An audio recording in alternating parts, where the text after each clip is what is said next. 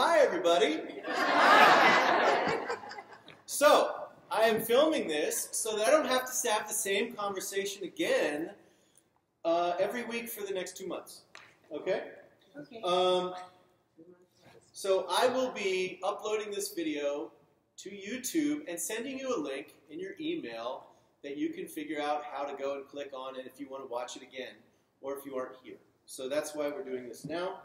And my uh, intention tonight, primarily, is to keep you abreast of all of the changes and all the things that we are trying to do a better job of this year to keep track of a growing music department. Sound good? Yes. Wonderful. All right. If you don't have email, you If you don't have email, you're present anyway, so it doesn't matter. This is primarily for the folks that aren't here. Okay?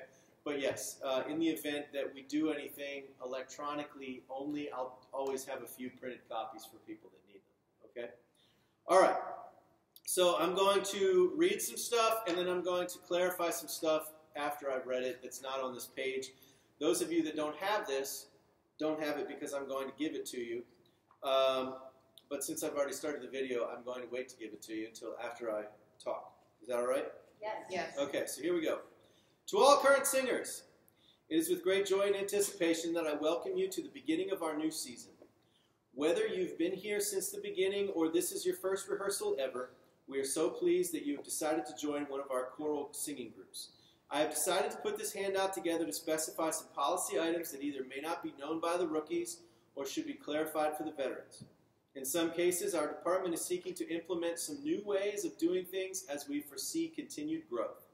In the end, all of the things that may be new to you have been decided upon because, despite being a large entity, we want to continue to be able to show how much we value each individual. We care about who you are and how you are, as well as where you are. It helps us to plan better as stewards of the talents God has allotted us.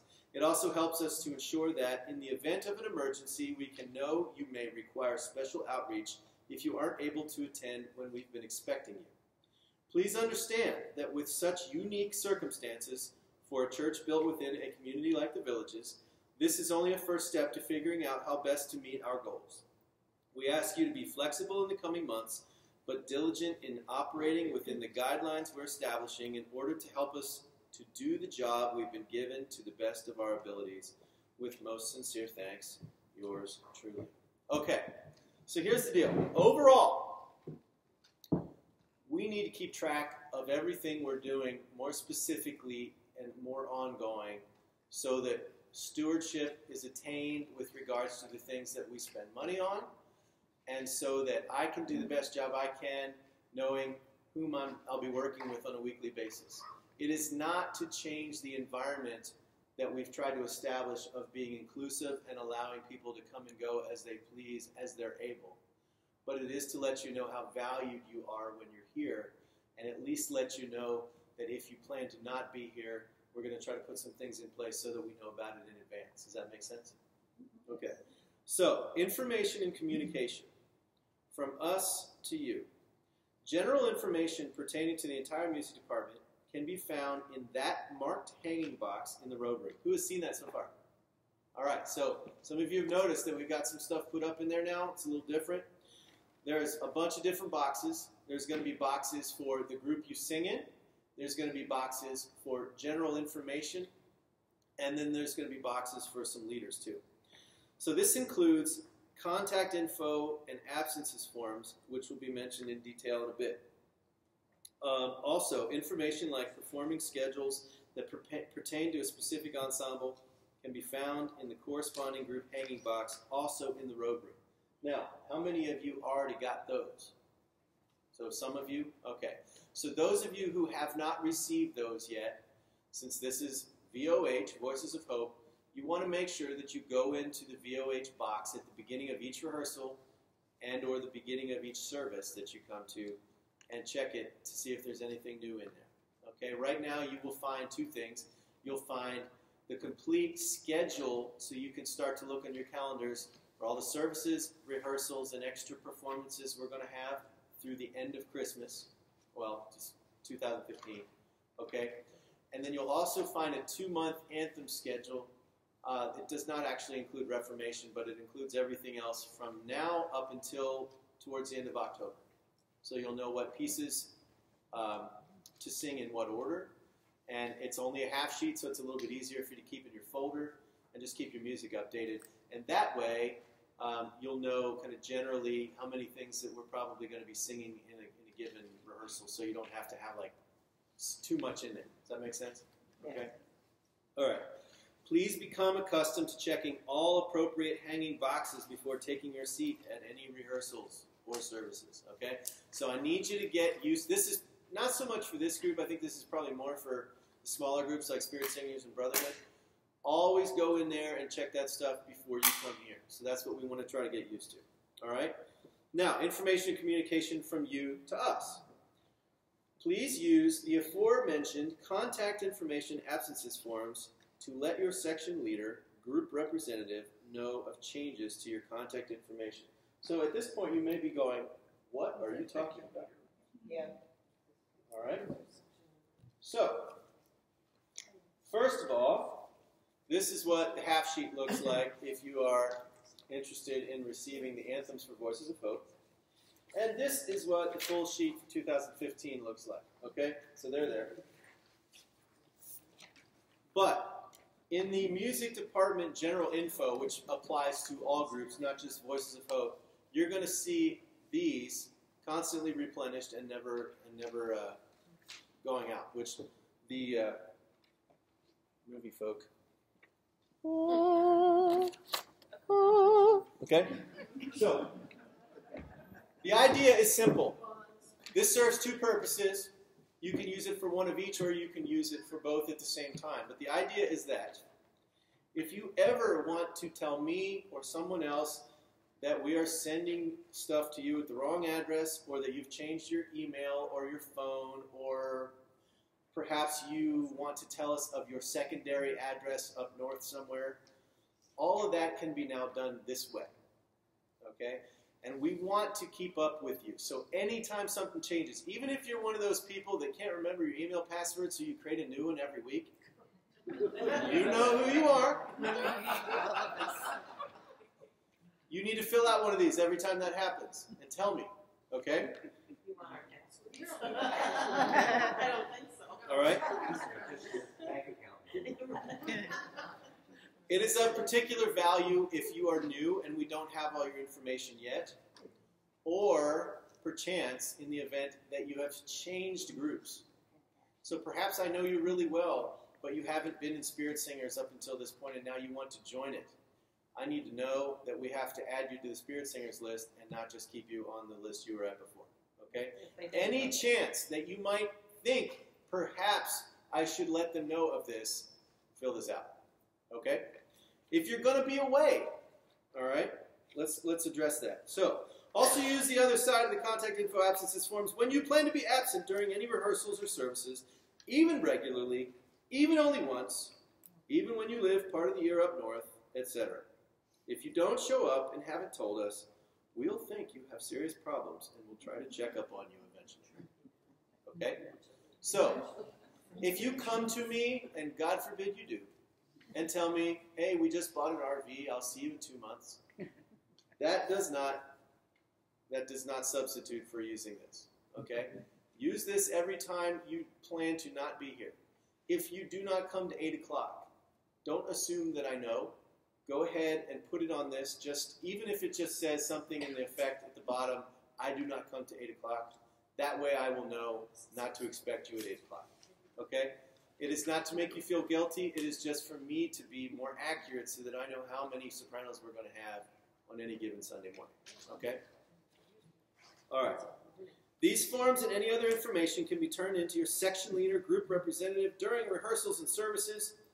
Please do not bypass and try to go to the director, assistant, or accompanist. That is now the responsibility of your section leader or group representative. So perhaps you are asking? I'll tell you in a minute. Alternately, you can email your information instead. Ah, so those of you savvy enough to know how to use the computer to send your information, instead of filling a piece of paper out, okay, your other option is to email to Music update at hopetoall.org. No, I'm not making that up. We really created that. Okay? And that is designed so that eventually I can have some volunteer data entry folk come into the computer, log on like that, and track all this stuff, whether you email it or, or do it in paper, and we can keep track of it all, sending it to the right places. So if you send it to me by accident, don't fret. I will forward it to Music Update at hopetoall.org and not read it. Okay? Same goes for Peg or Brenda or anybody else. We will forward it information specific to that to that address so it can be handled in that way. Um, and if you forget it, it's printed on this paper, so don't worry, you'll get one later. Okay? Now, notice I did not offer the option of calling me. When you call me, that means that I have to get the paper and fill it out for you. Do I want to do that? No. No. Does Peg? No. Does Brenda? No. Definitely not. She will cuss you. Not to your face. To my face. Just joking. Okay. Next, section leaders, group representatives. This is what you've been waiting for. These positions are being held by volunteers from each choral ensemble as well as spirit ringers. In the case of all but the handbells, there will be two people sharing the position. Each voice part in the Voices of Hope will have a dual section leader position, taking roll and advocating for them. The only time that will not happen is tonight. Guess who gets to take roll tonight? The Spirit Singers and Brotherhood of Harmony will have a dual group representative. It's not a section, it's a full group, therefore the different name. And they will perform the same function for the entire ensemble. In the case of group representatives, they will also actually be assisting in distributing music in boxes. We'll deal with that with those two groups later. Um, but for those of you who don't know, we have volunteers who have been diligently seeing that you get your music in your box for years longer than I have been here. They are continuing to do that. However, we didn't have that system in place before for Brotherhood of Harmony or Spirit Singers, and now we will. She's a volunteer. Okay, here's your team members. Ready? Voices of Hope soprano section. Linda Bowman and Chris Colgrove will be sharing the position. It just so happens that neither of them are here tonight. but I have spoken with both of them, so I'm not I'm not cold calling anybody. Voices of Hope alto section. Marcia Sondergaard and Karen Wilkinson will share the position. Would you please make yourselves known to folks who may not know you? There's Karen, and there's Marcia. Okay. I'm leaving it up to the to the uh, section leaders. If, if you're both present, you can fight over who gets the clipboard. Okay. Voices of Hope tenor section. Judy Brown and Howard Wood. If you don't know who they are, there they are. Pretty much. It's only about five of you tonight anyway, so I think they all know who you are. All right. And the basses. Ken Qualheim and Jim Umbrello will be sharing the position, and neither of them are here. In the off chance during the season that both are missing, I may call upon somebody from another section to assist with that position. Hopefully, it will be few and far between. Brotherhood of Harmony, we have Gary Gerke, Landy Andrus, Spirit Singers, Gail Kaczynski, Bonnie Andrus, and Spirit Ringers, Lynn Williams. Okay. Other volunteer teams. In addition to section leaders and group reps, we now will have teams for assisting with ongoing tasks throughout the year. Some teams are still being staffed. Those that have been that, that have established chairpersons, people, are um, the departmental volunteer position, non-clerical, that I mentioned last year. That's primarily going to be for making sure that you guys throw your water bottles away. Um, is going to be chaired by Lee Avers, but uh, for those of you who don't know, he's in Brotherhood and uh, SonShine, but he's going to be contacting a few other folks who have expressed an interest through the system last year to see if you will assist him when he's not here. Um, and at least a couple of you I see are here tonight who we talked about, but I'll leave you in suspense. Social committee. Our chair for the social committee will be Marilyn Gerke. Marilyn, are you here? The social committee will assist with things like making sure that you get uh, breakfast on Reformation Sunday morning. or that we have some kind of an event periodically to make you feel welcome and like a family, um, or you know, making sure that we don't we aren't unnecessarily exclusive to new people, or you know, stuff like that. We don't want any cliques. You know, we're not like the pink ladies and the greasers. You know. So uh, it's a grease reference.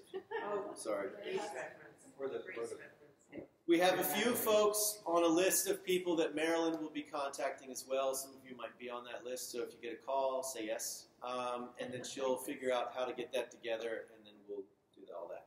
There's a few other things um, I'd like to add to the clerical assistance throughout the week to try to help with that process.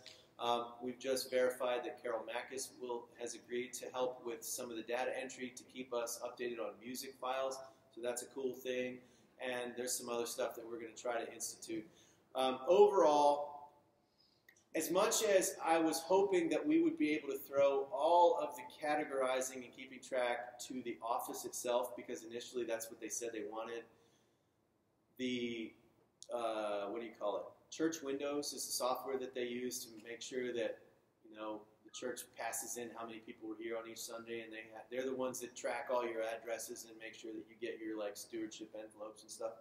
So initially, we were going to try to do all that through them. Um, I was just recently told that that's not going to work, particularly for absences that happen in the future. So we're going to have to do that in house in the music department. But we still need to feed them updated contact information so that if they need to get a hold of you, that they can do that and that they have an updated phone number. So we have to figure out how to do a lot of that stuff. Um, it's not ideal, but we're going to work with it until we figure it out and get it right so that we can make sure that, you know, thankfully, um, I don't think that anybody has fallen by the wayside when they've been ill or had a surgery or were out for an extended period of time. I think Peg has done an amazing job of keeping up with getting you a card or having the choir fill something out to let you know we care about you not being here. But over time, as we get bigger, um, it's harder to remember stuff like that. And if you're not a person that tells somebody else that's coming to the choir, we may not always know when you're going to be gone for a couple weeks due to surgery, unless you know you've told us in advance. So we want to make sure that we don't leave anybody, you know, in the lurch like that accidentally. It's not it's not a purposeful thing. It's just we want to make sure that we cover our bases and we account for the fact that we're not getting smaller. Okay. All right, you ready for the uncomfortable part? Music care and responsibility. You know who you are. We have implemented additional steps for keeping track of all the Hope's music before, during, and after you've sung it. We know who you are. Return it. Always. Or I will find you. I'm reading that actually. Any photocopied item has been created solely in place of a cumbersome original that is on file. Photocopies are strictly to be discarded after use. We don't keep them, you aren't supposed to either. Okay? So we all know that. Original sheet music or books must only be marked with erasable pencil. No highlighters, no pen, no hard to erase colored pencils.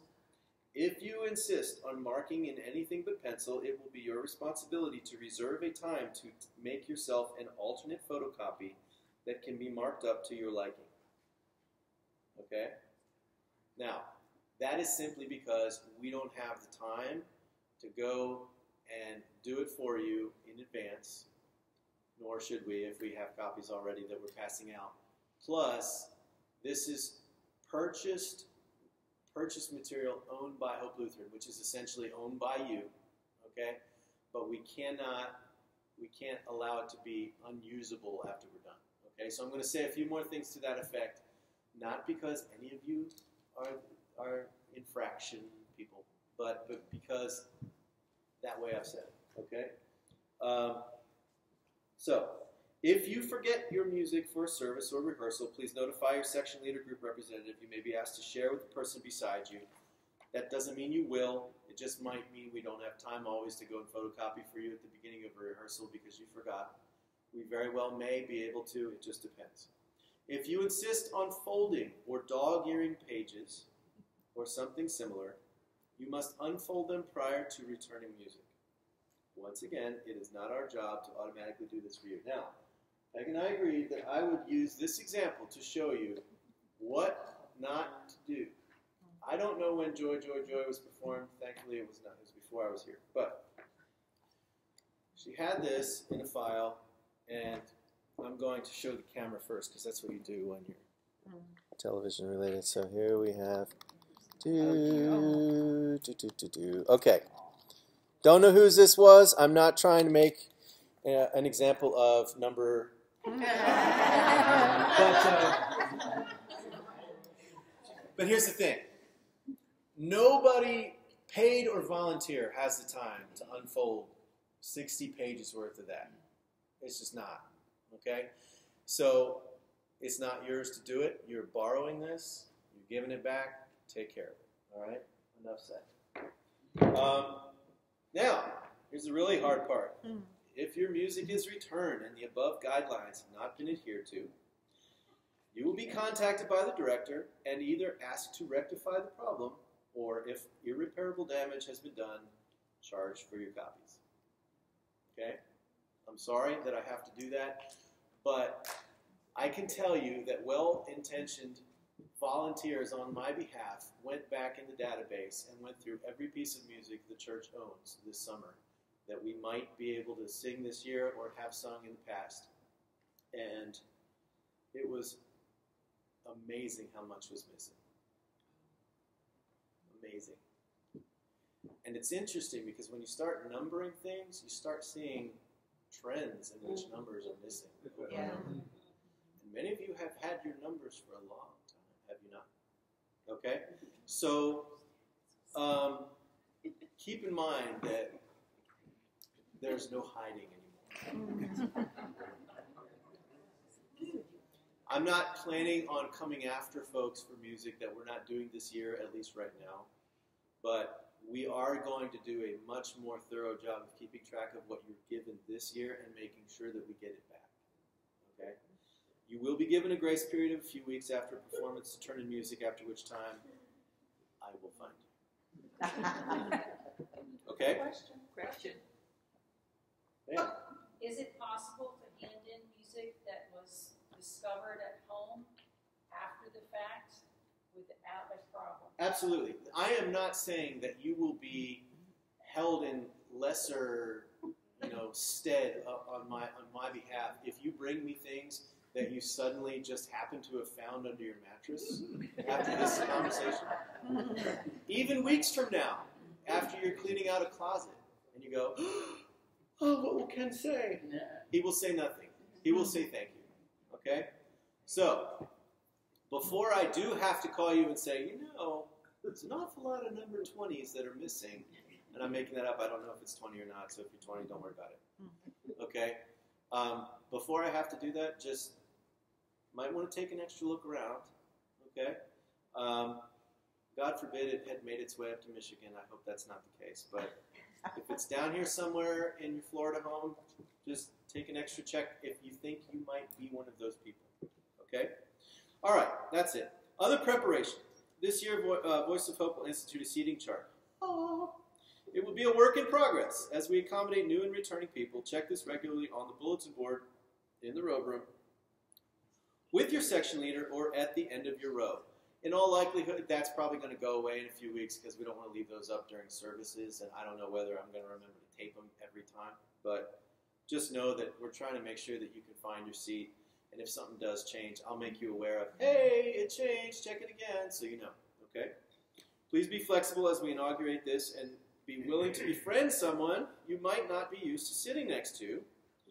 It is of utmost concern to me that we are always warmly open to new participants with all ensembles, large and small. I cannot, I cannot, I cannot uh, make this important enough that this is a church more so than whether, well, no matter what your theology, more so even than out in the world, maybe, we represent Christ here.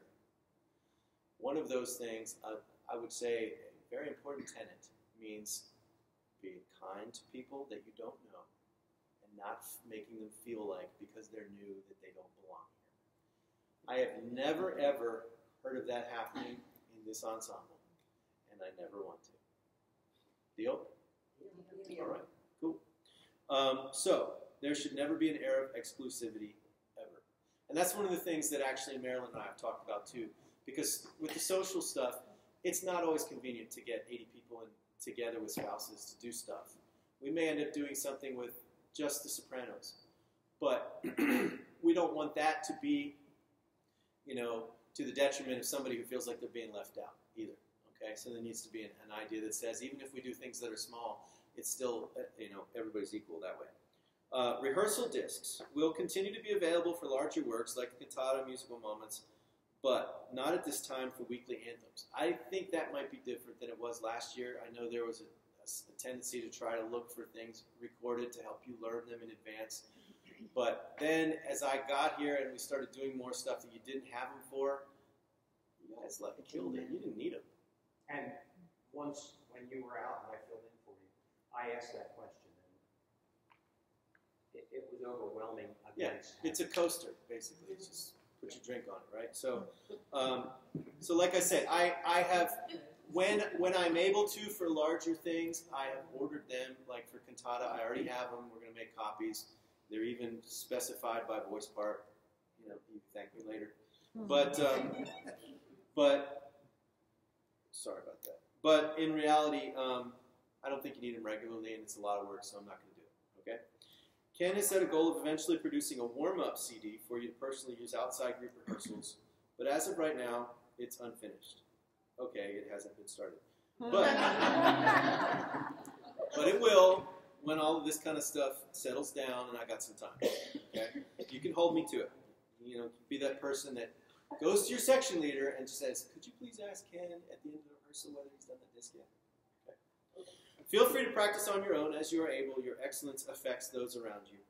If you desire additional material specifically concerning using your singing voice to greater effect, vocal health, etc., please make your interest known through your section leader group rep. Um, you know, I, I thought of that kind of at the last minute. I don't have any hard and fast things that I can hand you right now, although we did a little kind of a half funny thing last year in the newsletter. But I know some of you care about taking care of your voices. Maybe you don't take voice lessons, but you want to improve as a singer, and I appreciate that. I want to try to encourage that. I know it's your instrument, so you want to do the best job you can. So I will do my best to try to help you along those lines as you make me aware of your interest. And then finally, and all most important, keep having fun because you guys are all awesome. Okay? So, I am going to now stop my tape. Tape. It's not a tape anymore. Do we even use those? Bye.